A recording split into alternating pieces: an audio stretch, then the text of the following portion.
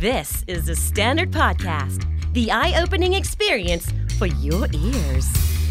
สวัสดีครับ ผมบิ๊กบุญ และคุณกำลังฟังคำนี้ดีพอดแคสต์สะสมสับกันวลานิดภาษาอังกฤษแข็งแรง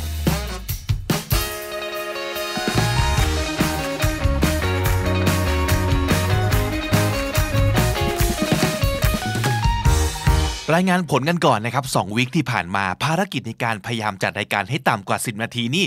ล้มเหลวเละเทะมากทำได้แค่ตอนเดียวเองมั้งเออแต่ก็ได้ฟีดแบ็กมานะฮะว่าเอานะสลับสลับกันไปก็โอเคนะครับก็เลยอืมโอเค ผมจะเชื่อแล้วกันนะครับ นี่คืออะไรนี่คือการออกตัวนะครับ ว่าวันนี้ก็น่าจะสั้นไม่ลงอีกแล้วนะครับ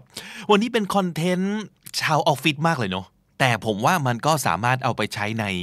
บริบทอื่นๆ ได้อยู่เหมือนกันนะครับ ชื่อบทความชิ้นนี้ที่ผมไปอ่านมา ก็คือ five character questions and the answers that will get you hired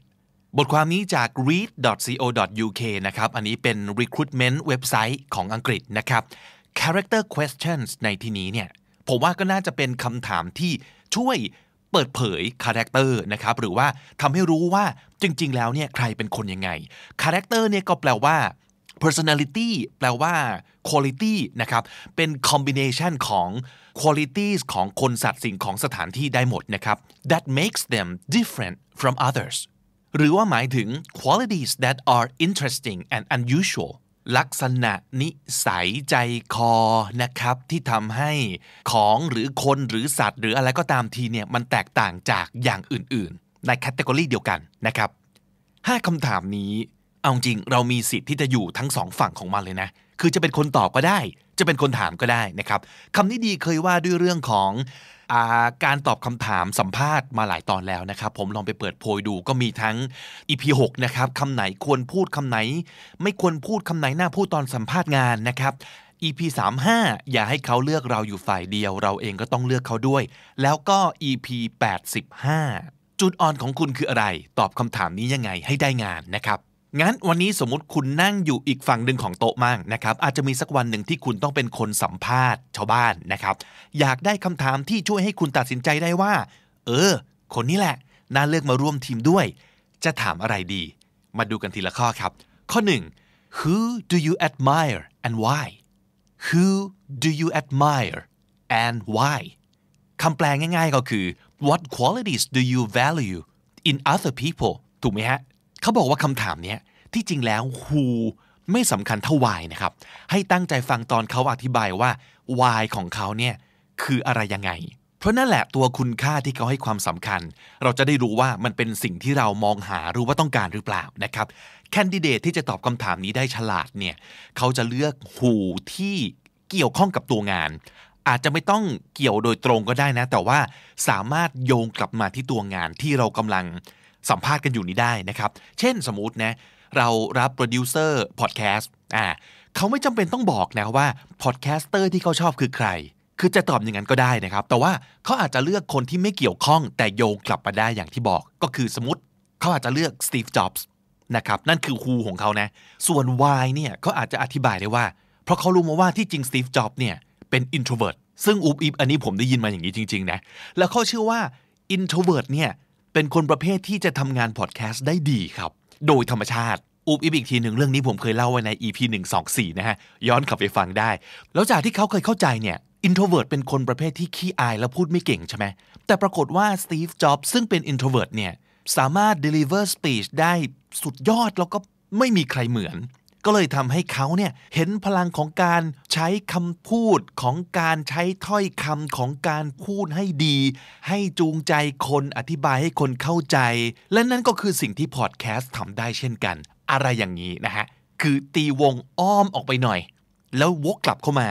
อย่างมีลีลานะครับ แล้วก็จะเป็นการโชว์แบบแกะแพทเชื่อมโยงนิดนึงดูเป็นคนมีความซับซ้อน ดูเป็นคนมีหลาย layer อะไรอย่างนี้เป็นต้นนะครับ คำตอบที่ดีนะ เป็นผมนะครับ ผมจะมองหาความ original ครับ 1. เลือกคนที่น่าสนใจหรือเปล่า unique ไหม แต่ถ้าไม่ unique ก็ได้นะ สมมติอย่าง Steve Jobs เนี่ย ผมเชื่อว่าใครๆก็ admire เหมือนกันนะครับ ก็ดูการให้เหตุผลของเขาว่า เขาอธิบายตัวเองได้ดีแค่ไหน แล้วก็อย่างที่บอกนะครับ แกะแพทเชื่อมโยงได้หรือเปล่า หรือหรือแถนะครับ ส่วนคำตอบที่ผิด บทความยกตัวอย่างว่า อย่าตอบอย่างนี้ who do you admire and why okay if I say you will I get the job ถ้าผมตอบว่าพี่นี่ผมได้งานเลยวะฮะ อะไรอย่างนี้อย่าตอบนะครับ it's not even cute อย่าน่ารักนะครับ อย่าทำตัวน่ารักอย่าเล่นบุกน่ารักนะครับ โชว์การใช้สมอง โชว์การใช้ความคิดสร้างสรรค์ แล้วก็โชว์คุณค่าที่เรา value นะครับคำถามที่สองครับ tell me something about you that is not on your CV CV ตัว C ตัว V คำย่อนี้หมายถึงประวัติการทำงานโดยละเอียดนะครับ Resume คือประวัติการทำงานอย่างย่อถูกไหมฮะ ซึ่งส่วนใหญ่คนจะจบในหน้าเดียวนะ แต่ถ้าเกิด CV เนี่ยลงรายละเอียดได้ครับ ถ้าทำมาเยอะทำมาหลายอาชีพ มีหลายประสบการณ์ใส่ได้เลยนะครับคำถามนี้สำหรับผมเนี่ยน่าสนุกที่สุดเลยนะ เพราะว่าเราเปิดกว้าง แล้วดูสิว่าเขาจะเล่าอะไร tell me something about you เนี่ยว่ายากแล้วนะ แต่นี่คือ that is not on your CV อันนี้ท้าทายกว่าอีกเพราะว่าอะไรรู้ไหมครับ เพราะว่าเรื่องดีๆ เรื่องเด็ดๆเนี่ย คนเราจะใส่ลงไปใน CV หมดแล้วไง ทีนี้ถ้าเกิดจะถามถึงเรื่องที่ไม่ได้อยู่ใน CV มันจะเหลือเรื่องอะไรบ้าง ที่เจ๋งพอจะโกยคะแนนโบนัสได้อีกนะครับ เป็นผมส่วนตัวนะครับ ผมจะอยากฟังเรื่องที่ไม่เกี่ยวกับงานครับ แต่เป็นเรื่องที่บอกได้ทันทีว่า คนคนนี้เป็นคนยังไง ขอแนะนำเป็นการส่วนตัวนะ สักสองสามอย่าง 1. ความสัมพันธ์ครับ สั้นๆ เรื่องที่เกี่ยวกับครอบครัว อันนี้แสดงตัวตนได้มากเลยนะ แล้วผมว่ามันเซอร์ไพรส์คนด้วย เพราะว่าเขาอาจจะนึกไม่ถึงว่า เฮ้ย เราจะกล้าแชร์เรื่องที่ส่วนตัวขนาดนี้ เช่น สมมติที่บ้านสนิทกับใครเป็นพิเศษ ใครมีอิทธิพลกับความเป็นตัวตนของเรามากเป็นพิเศษ เพราะอะไร แม่ผมเป็นนักอ่าน สะสมหนังสือไว้เต็มบ้านเลยครับ ผมว่าผมเลยอ่านหนังสือเยอะมาตั้งแต่เด็ก อะไรอย่างนี้เป็นต้นนะครับ หรือ 2. ความล้มเหลวครับคำถามนี้ดีไม่ดีอาจจะอยู่ในการสัมภาษณ์ไปแล้วนะ แต่ถ้าเกิดเขาไม่ถาม เรื่องนี้โอเคที่จะแชร์นะผมว่าเป็นผมผมอยากฟังนะครับ ผมอยากเห็นว่าคนคนหนึ่งเนี่ยเรียนรู้จากความล้มเหลวของเขายังไง เขามีวิธีถอดบทเรียนแบบไหน เขามีทัศนคติยังไงในวันนี้ที่มองย้อนกลับไป อันเนี้ย เปิดเผยตัวตนเวอร์เลยนะครับถามอีกอันหนึ่งข้อ 3 งานอดิเรกหรือว่างานที่ 2 ก็ได้นะ หลายคนตรงนี้อาจจะเถียงว่า เฮ้ยมันไม่ควรที่จะแบบ ผมขายของบน IG ครับ ผมมี job อย่างงู้นอย่างนี้ครับ ผมมีธุรกิจของตัวเองครับ เพราะบริษัทอาจจะบอกว่าหุยแล้วมึงจะตั้งใจทำงานกูปะเนี่ยอะไรอย่างนี้ เพราะฉะนั้นก็ไม่ควรจะพูดอย่างนี้หรือเปล่า แต่ผมคิดอีกอย่างนะ ผมคิดว่าเราควรใช้โอกาสในการคุยเรื่องนี้ โชว์ skill ในการจัดสรรเวลาของเราได้เหมือนกันนะครับ เรื่องการ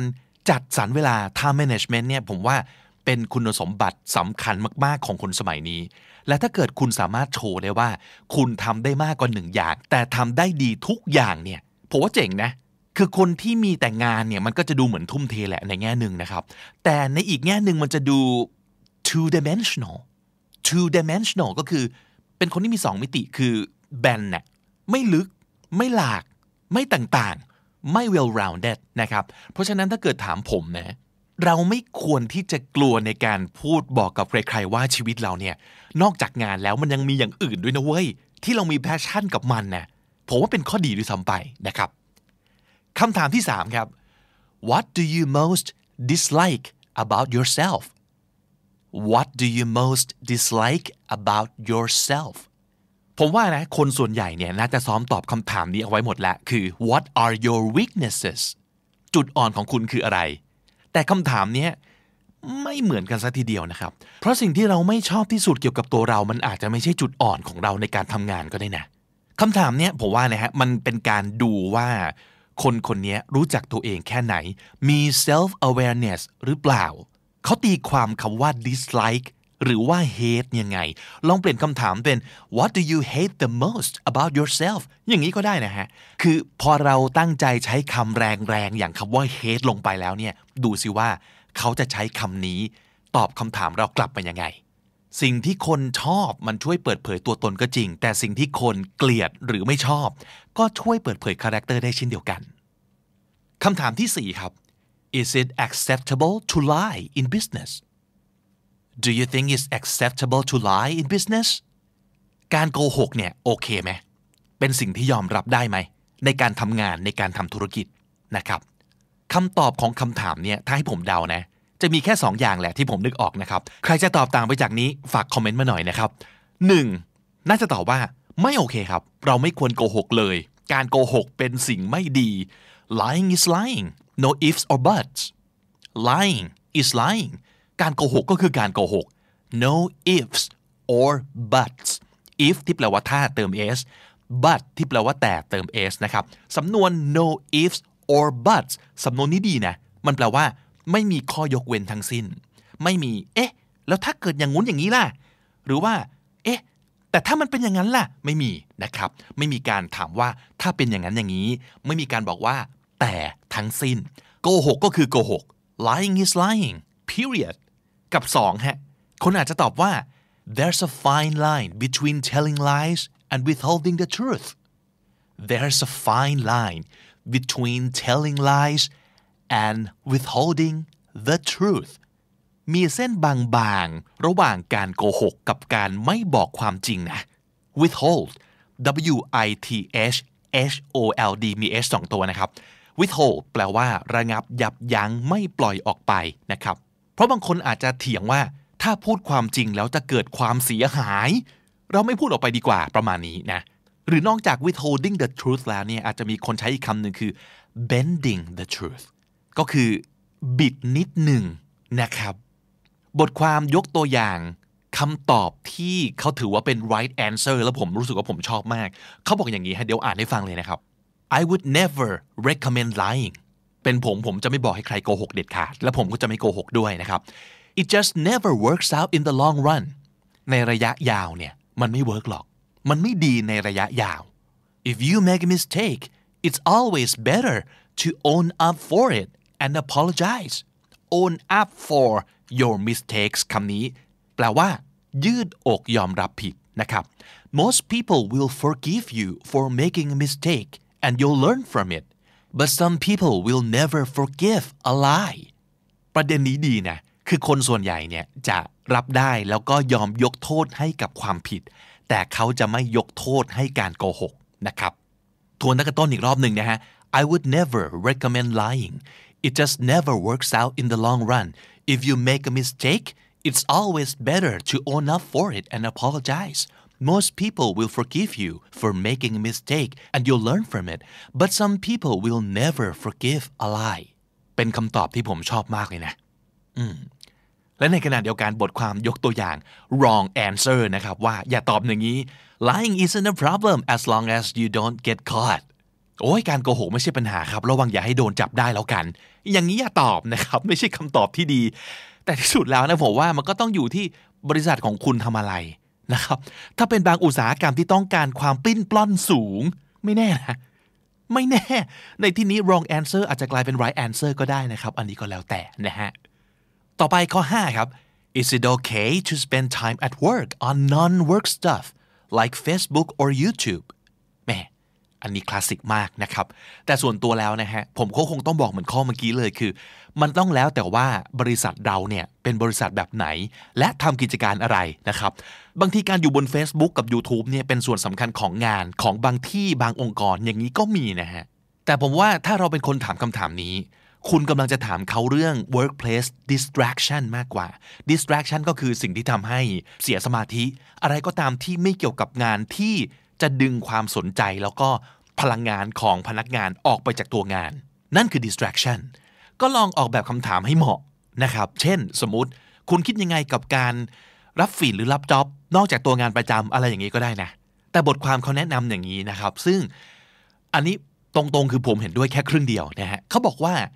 so whatever your own personal views on this issue are play it safe and go into complete denial mode because let's face it no one wants to employ a slacker ไม่ว่าทัศนคติส่วนตัวของคุณในเรื่องนี้จะเป็นยังไงนะครับ play it safe ก็คือตอบ safe safe ไว้ก่อน และให้ go into complete denial mode ก็คือให้เข้าสู่โหมดปฏิเสธโดยสิ้นเชิงนะครับว่ามันไม่ดีครับผมไม่เห็นด้วยนะครับ because let's face it ต้องยอมรับว่า no one wants to employ a slacker ไม่มีใครอยากจ้างคนขี้เกียจ หรือว่าพวกมนุษย์อู้มาทำงาน ถูกไหมครับ นั่นแหละฮะห้าคำถามเด็ด ผมว่าดีทุกข้อเลยนะ เอาไปลองใช้กันได้ แต่ที่สุดแล้วครับ ในฐานะคนสัมภาษณ์เนี่ย ผมว่าการ customize คำถามให้เหมาะกับองค์กรของเรา หรือว่าตำแหน่งงานที่เรากำลังหาอยู่ ก็สำคัญ เพราะฉะนั้นอย่าใช้คำถามสำเร็จรูปจากอินเทอร์เน็ตเสมอไป เพราะว่าใครก็สามารถ search หาได้ ไม่ใช่เอา 5 ข้อนี้ไปถามตามนี้เดะเลย ปรากฏว่า candidate อาจจะแบบฮั่นแน่พี่ฟังมาจากคำนี้ดีใช่ไหมฮะ เดี๋ยวจะเขินนะครับเขินนะฮะ เขียนคำถามของเราเองดีที่สุดนะครับ เราอยากได้ employee ที่ creative ถูกไหม เพราะฉะนั้นในฐานะ employer หรือว่า interviewer เราก็ต้องสร้างคำถามที่ creative ด้วยเช่นเดียวกันครับ สรุปสับที่เอามาฝากกันในวันนี้นะครับ มี 10คำและสำนวนมีอะไรบ้างมาทบทวนกันครับ character character คุณสมบัติและนิสัยที่เป็นเอกลักษณ์เฉพาะตัว two dimensional two dimensional แบนไม่รอบด้าน ไม่ลึก ไม่หลากหลาย ไม่ต่าง no ifs or buts no ifs or buts ไม่มีข้อยกเว้นทั้งสิ้น There's a fine line between something and something There's a fine line between something and something มีเส้นบางๆ ระหว่างไอ้อย่างนั้นกับไอ้อย่างนี้ withhold withhold ระงับยับยั้งไม่ปล่อยออกไป it never works out in the long run it never works out in the long run ในระยะยาวแล้วมันไม่เวิร์กหรอก own up for your mistakes own up for your mistakes ยืดอกยอมรับผิด play it safe play it safe ปลอดภัยไว้ก่อน ไม่เสี่ยง ไม่กากัน ไม่ห้าว go into complete denial mode go into complete denial mode ยืนกรานปฏิเสธอย่างเดียว slacker slacker คนขี้เกียจ คนอู้งาน และถ้าติดตามฟังคำนี้ดีพอดแคสต์มาตั้งแต่ episode แรก มาถึงวันนี้คุณจะได้สะสมศัพท์ไปแล้วทั้งหมด รวม 1,749 คำและสำนวนครับ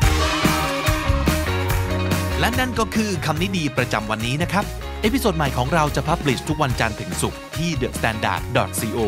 ทุกแอปที่คุณใช้ฟังพอดแคสต์ YouTube Spotify และ j o o x นะครับ search ชื่อรายการคำนี้ดีเจอทันทีครับ